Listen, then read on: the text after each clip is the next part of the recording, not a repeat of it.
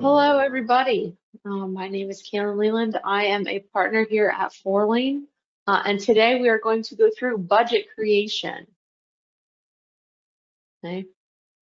Uh, so four uniques about Fourlane. Why do, why do you want to work with Fourlane? First off, we are a value-added reseller for QuickBooks, NetSuite, Xero, and Acumatica.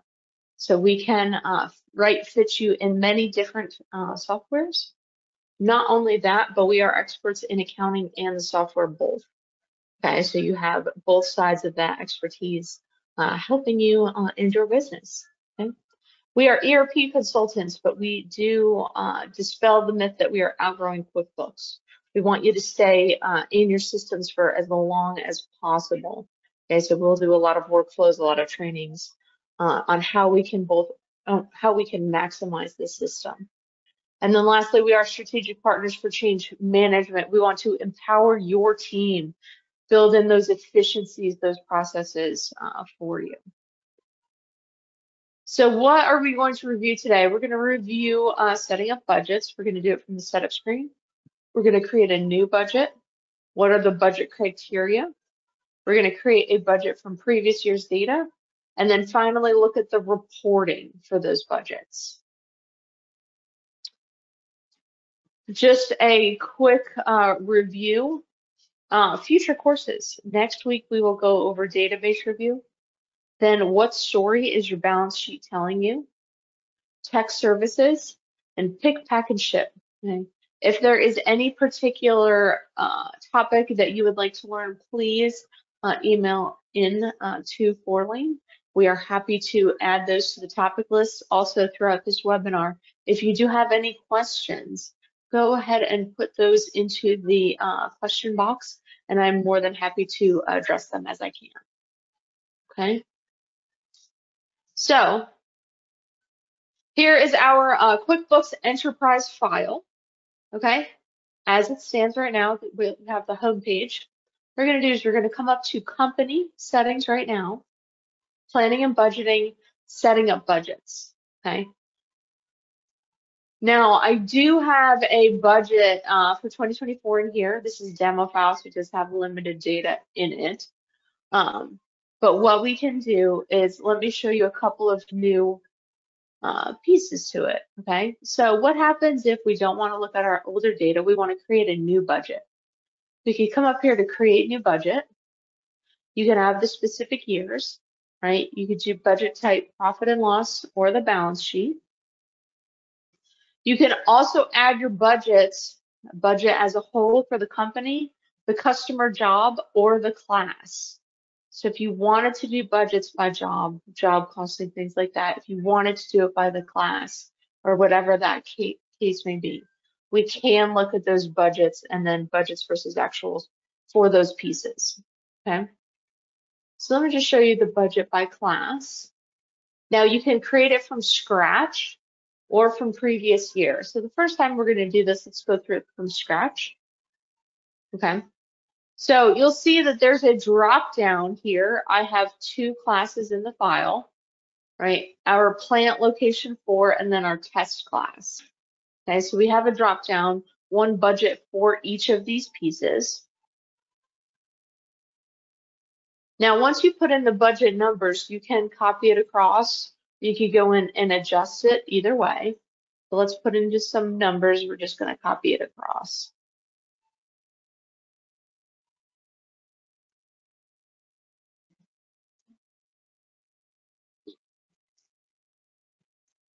Okay, so we could click on those, copy across, and then even after you copy it across,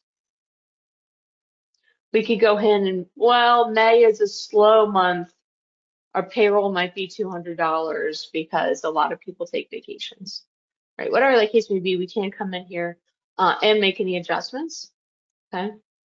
So I want to save this. Uh, then after you save it, want to come up to the class if you wanted to enter a different budget for our test class, we could go ahead and do that. Maybe their test class is a lot smaller. We're going to go ahead and copy that across. Okay, so once I press OK, I always like to show the reporting pieces of it. Okay, we can do our budgets versus actuals, you'll see that I just created this profit and loss by account and by class. Okay. So you can have different report layouts. You can have accounts by class, accounts by month, or classes by month. So you will see that I picked the entire year for the classes. So plant location one and then test classes here. And then of course, total. It'll have our actual data for the year, our budgeted data, our dollar amount over budget, and then our percentage over budget. Okay. And of course, we could come up here and customize if we did not want to see the percentage or difference or, uh, you know, whatever that case may be. Okay.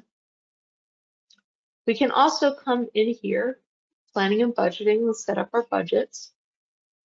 Right, so the first thing, it defaults to the last budget that you worked on. Okay, so we just created this budget for our current classes. We can come in here and make adjustments at any time. Okay, anytime we want to come in here and make adjustments, adjust rows, copy across, whatever the case may be, we can. But what happens if we want to create a budget let's say no additional criteria based on our current year's data, okay? So it will take the current year's profit and loss data and then make that the budget for the next year, okay? So, but let's say we want to have, we want to double our revenue. So I'm going to take our sales account, let's double it. And of course I could take that and then copy it across or make any adjustments as I see fit. Okay, so we can take that budget information, look at our current actual information, create that or create them from scratch. We could do that by uh, class, by project, whatever that case may be. So let's go back to our reports for a little bit, okay? So if we come over here to budgets and forecasts, we have a couple of different options here. Our budget overview is going to bring us back to this screen that looks exactly like uh, setting up those budgets in the first place. Okay. So now we have our budget overview. Um, this is only the budget piece. It does not have any actuals from the file in this uh, report here. Okay. So if we wanted to see that, we can come down here to the budgets versus actuals. Of course, pick what budget we would like to take a look at press next, finish. So now each month or each uh, period that we ask it to, we have the actuals, the budgets, the over dollar amount and percentage. Okay. We can show these columns um, by any different time period for this report. Okay. If we come up to customize, you can, again, display columns by the different time periods, actuals, differences. You will see that it does not have the option within this report. Once you say to build it by date, it doesn't have the option to add the classes. Okay, so if you wanted that to happen, we would have to go back into this report, switch it to class. Right, next, I want the layout to be account by class. Okay, so now it shows all of those consolidated dates, but it has the different classes and then of course your total over there, but same information, right? Your actuals, your budget, your over budget, and your percentage. Okay. But each time that you want to run this, right, if we come back up here to customize, now that we're displaying by class, now there isn't the option for the customers or jobs. We would have to go through and run that report again and show and ask QuickBooks to run it in that specific manner. Okay. The other report for budgets versus actuals, we have a graph. Graphs are nice. QuickBooks is black and white all day, all day, every day. Okay. P&L by accounts, P&L by jobs, okay, or by classes up here up at the top. Okay. So it will show the uh, all of those pieces in graph form if we would like it to. Uh, favorable and unfavorable, actual versus budget, favorable and favorable favorable and unfavorable is just the dollar amount difference, right? Did we save money? Did we lose money? But it's looking at it as a whole. You'll see that it is not split up uh, income versus expenses. It is just the budget as a whole. Okay. Accounts and then by the accounts. Okay. So this top one is always favorable and then unfavorable. The bottom is actual versus budget. Okay. It's nice to look at colors sometimes. Hmm. Our last piece in here is the budget by performance. Okay. So this is the only report on the same screen on the same page. We'll have your actuals for the month, your budget, the uh, January through June actuals, the year to date budget, and then your annual budget. So I know that some people at the end of the month, uh, maybe you have shareholders, maybe for yourself, uh, CFO, whatever that case may be, wants to look at all of these columns at the same time. If that is the case, you are looking for the uh, budget performance report. Okay. And then, of course, we could go in and uh, customize and group by these those different time pieces that we have. Okay. Uh, the question, we do have a question here. Thank you uh, for a question. Where did you click to see the graph reports? We went to reports, budgets and forecasts, and then budgets versus actual graphs. Okay. If I click on this, this will bring up all of these uh, colors, all of these bar graphs, you can change the dates, and this is where you could change quickly through the accounts versus the accounts and jobs versus the classes. Okay. And thank you for the question. And does anyone else have any questions?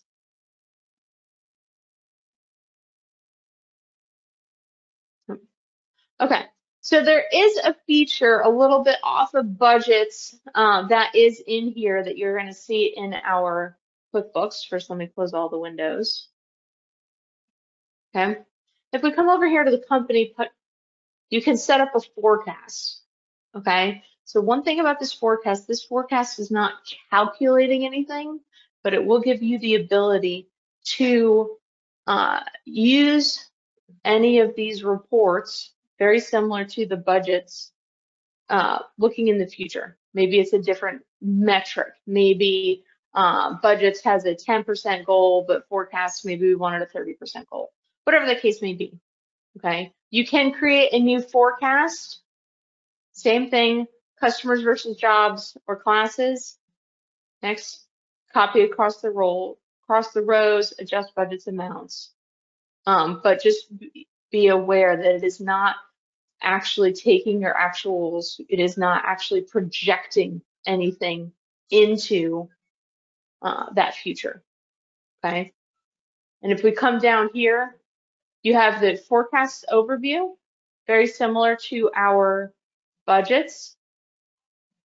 That shows these, this $1 all the way across is what we have forecasted, right? And then the forecast versus actual, which is going to look remarkably similar to the budgets versus actuals. Okay, so if you wanted to run two different types of numbers in the uh, QuickBooks file, you absolutely can. And uh, looks like so we have a couple of questions in here, which is great. Keep them coming, guys. I love this. Um, are there budgets for the balance sheet? Okay, yes, there's absolutely budgets for the balance sheet. If you come into the, let's go back into setting up the budgets, create a new one.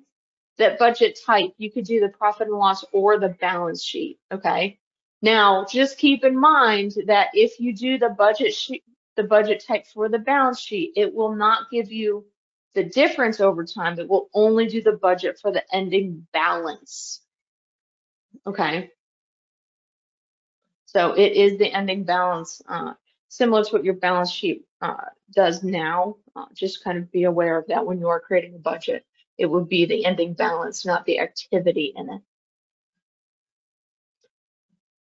Okay. Um, there is another question. Is there a report that combines the actuals with budgets for the rest of the year? Yes, what we could do for that.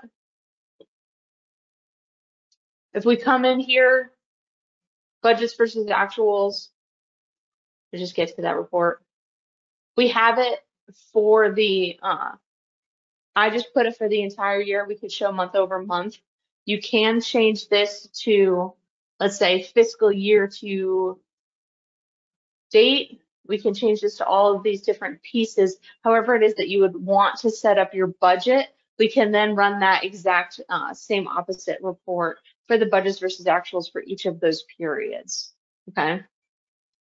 The another piece to that, just in case you're curious, the budget performance report though shows the June budget, the June actual, the June budget, the January through June, the entire year, year to date budget, and then the entire thing as a whole. Now, if you wanted from July to December, you might have to do a little bit of math, but at least all the information is here. Uh, we can go ahead and uh, do that. Okay. Uh, more uh, questions. I love this. Bring all the questions. Uh, next, is there a cash flow budget report? No, there's not really a cash flow budget report. It really relies on the profit and loss and then the balance sheets and how do we want to look at that uh, profit and loss pieces.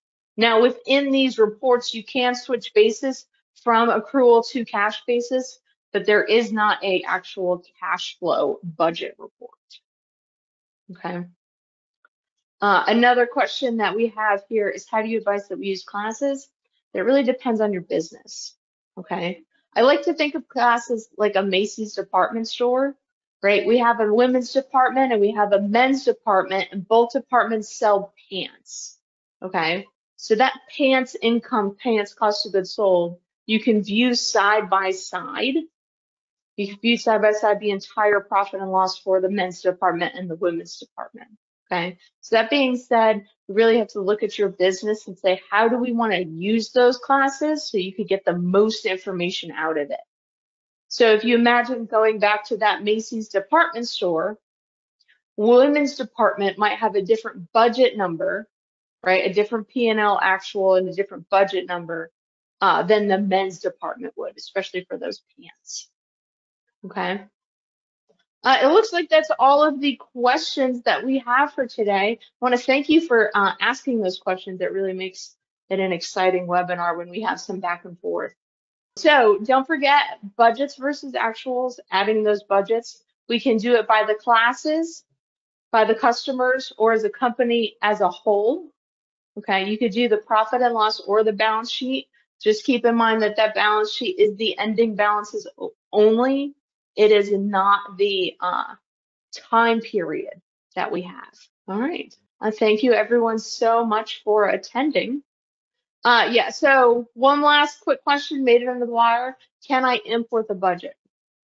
Uh, there is an importer for the budget if you use an IIF tool. Uh, within QuickBooks Enterprise, there is the uh, importing of IIFs. That is the only way uh, that you can uh, import the budget at this time. All right. Well, thank you everyone for attending. I enjoyed it so much just a quick recap of what we have coming up. Next week is the database review, and then what story is your balance sheet telling you? We have tech services, and then the pick, pack, and ship. Okay, if there's any other topic, anything that you would like to learn, uh, please go ahead and email us then, and we would love to take your questions.